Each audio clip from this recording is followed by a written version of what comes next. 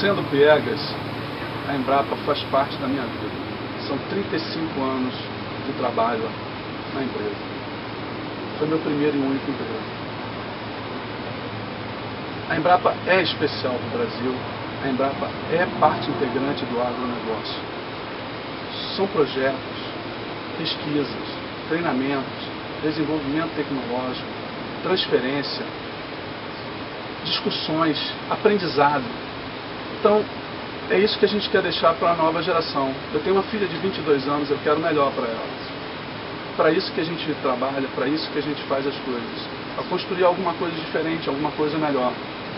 A, a Embrapa definitivamente, ela é parte integrante do futuro e do presente do Brasil e do agronegócio.